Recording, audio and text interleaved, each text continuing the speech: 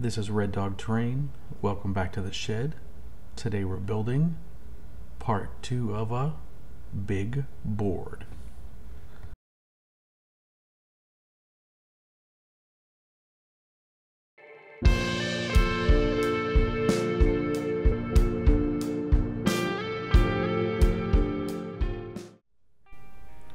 When last we left, this is where we were. Four one foot by four foot sections. Plateaus had been put in, an old stone road was laid out, a river was carved and filled with rocks, lots of sculptamold, and just a bit of paint. I painted on a quick base coat of a couple of different browns. I just squirt a little cheap craft paint into a lid and go. Having it all slopped together, I get a lot of natural variations in color and tones. I did the same with the top of the plateaus.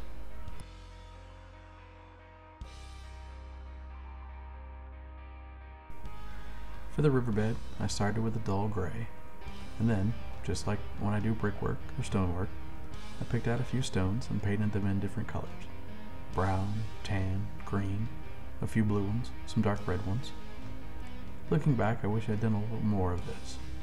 Washing and dry brush tone down the colors, and I have to remember this when putting on base coats. Dry brushing and washes, washes and dry brushing, pretty basic stuff. This build did not take a whole lot of skill, and I didn't really use any new techniques, but it sure took a while. 16 square feet takes a while to paint and dry, and it's wintertime here in Louisiana. Our winters aren't really that cold, but they sure are wet.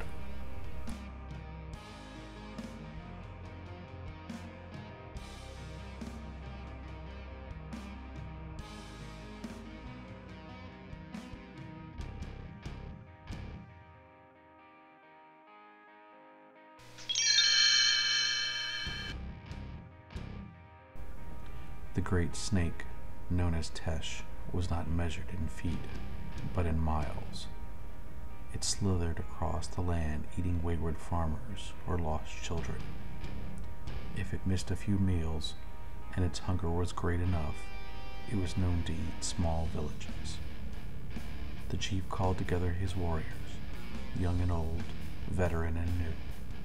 The great snake must be killed hiding behind the low plateaus with their simple wooden spears, their bows and arrows, and axes made of bone, they waited.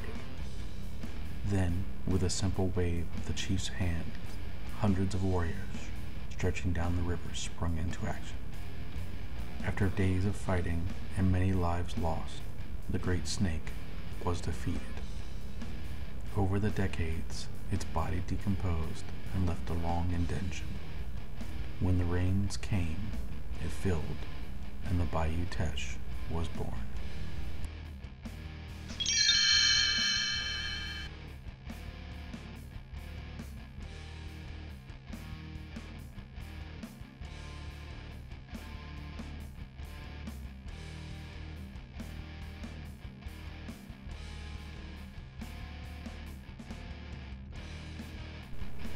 Next came time to add some foliage.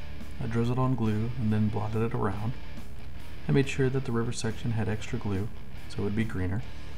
The road section, I wanted to leave out gaps in the grass. I wanted it to look muddier and well traveled. For the plateaus, I used more yellow grass around the elevated half. It's subtle, but it's there. I did something I'd seen others do. I used a handheld vacuum with a dryer sheet, because we didn't have any pantyhose in the house, over the nozzle.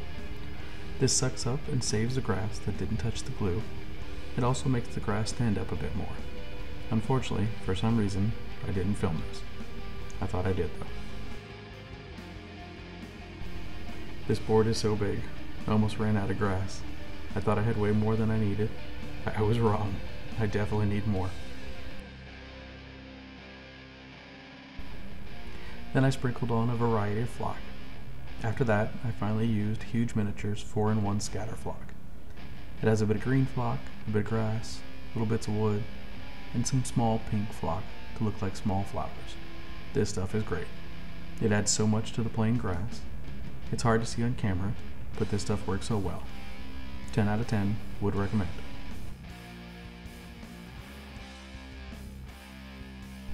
You can really see how good the grass looks in this flyover shot. I saw someone use this metallic tape to create a dam for a resin pour, and I wanted to try it, because it's easy to acquire and versatile. You're supposed to fold it in half, and then put another piece over top. Maybe it's something I did wrong, but this leaked badly. So I went with a tried and true method. I had to cut up a plastic container I had laying around for the walls. Then I hot glued it in place and applied pressure. Lots of hot glue.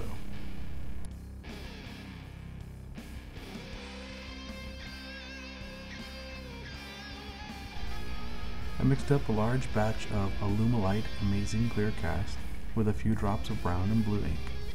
I probably could have done with a little more ink. And then I poured it in. I used a hot glue gun to get rid of the bubbles.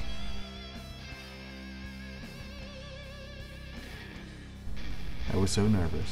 During the drying process, I would head back and forth to the shed every few hours to check on it.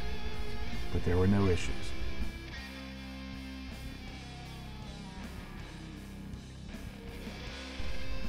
The second layer was way better because I poured it, and then we left for two days to visit the in-laws. At some point, I had added some sticks from the yard to look like logs. I'm so proud of how this turned out. I've seen people on YouTube doing resin and thought it was so cool, but too complicated and hard for me. But it's not. And it's not too hard for you. If I can do this, you can do this. With a brand new blade, I cut away the plastic wall. And success. No leaks, no uncured resin. We got a winner, folks.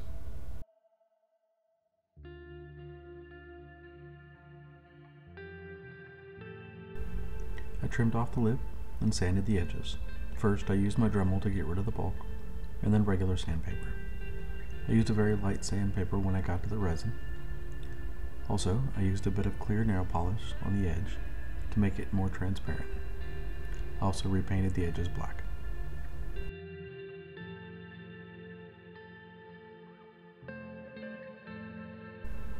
I blotted on some Mod Podge to make some ripples, and this worked fairly well.